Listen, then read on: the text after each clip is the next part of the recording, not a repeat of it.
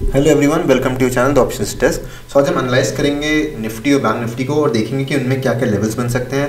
क्या क्या trend line support और रेजिस्टेंसेस निकल के आ रहे हैं। आज हम मल्टी टाइम फ्रेम एनालिसिस भी करेंगे।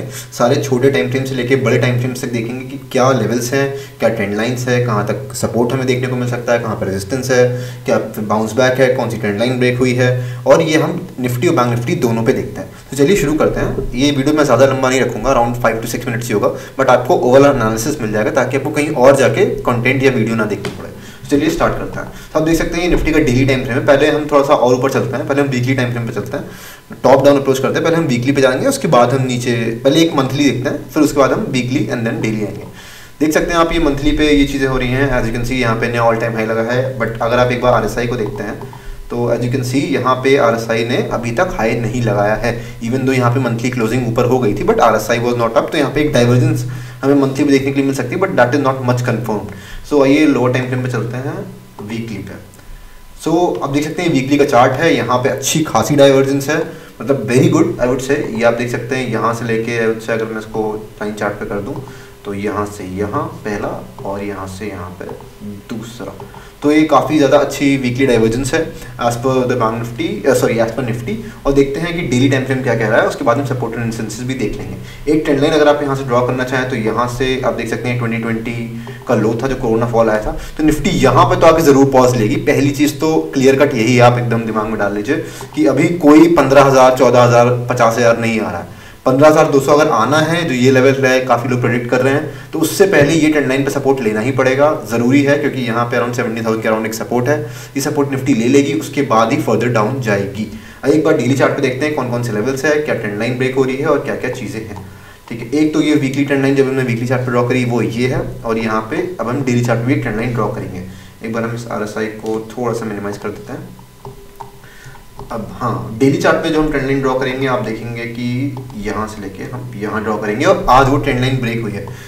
हम एनालिसिस कर सकते हैं, देख सकते हैं कि लेवल्स कहाँ जाएँगे मार्केट कैसा बिहेव करता है इट इज़ टोटली मार्केट मैं ये एनालाइज कर रहा था कि जो ये पॉइंट है सपोर्ट का, जब एक्सपायरी के एक दिन पहले बनाया उसे एनालाइजिंग ऑन वेडनेसडे कि आई वाज एक्सपेक्टिंग कि यहाँ पे मार्केट सपोर्ट लेगा और इसके ऊपर जाएगा। Market did open gap up क्योंकि नास्डक और U U S thirty gap up थे। तो market did open gap up but वहाँ सस्टेन नहीं कर पाया और इसका लो ब्रेक करके वेडनेसडे का एंड एक्सपायरी ने नीचे क्लोजिंग उसके बाद डेटा काफ़ी ज़्यादा बेरिश हो गया and this was the trend line that I was thinking for a support but market इसके नीचे ओपन हुआ, उसको एज अ रेजिस्टेंस की तरह टेस्ट किया and then it fell down so अभी कंडीशन थोड़ी ज़्यादा ख़राब है। आप देख सकते हैं, यहाँ पे ट्रिपल जो रेड कैंडल बनी है वॉल्यूम्स सेलिंग में बढ़ते जा रहे हैं। तो वी कैन एक्सपेक्ट कि और ज़्यादा वीकनेस इंडेक्स में आ सकती है।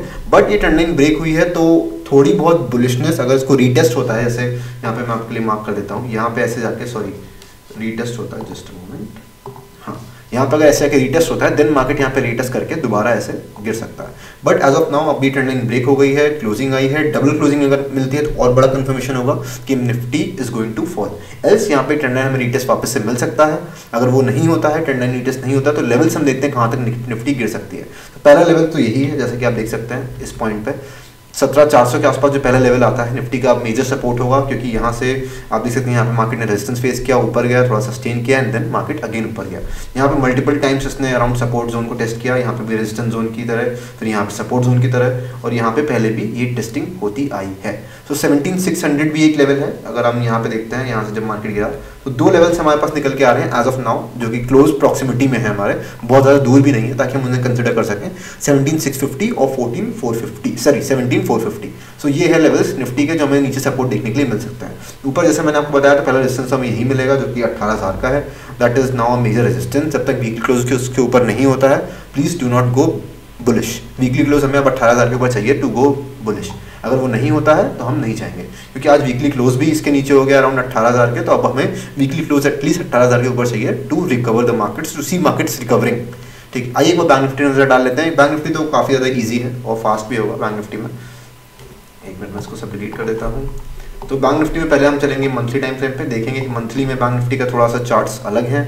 ऑटो के सो बैंक निफ्टी ने निफ्टी से काफ़ी लेट ऑल टाइम हाई लगाया और वो भी एटलीस्ट फॉल कर रही है। अब देखते हैं एक बार वीकली पे। वीकली पे बैंक निफ्टी में in I would say divergence इसमें भी होगा। देर इज़ नो डिनाइल हाँ डाइवर्जेंस इसमें नहीं है।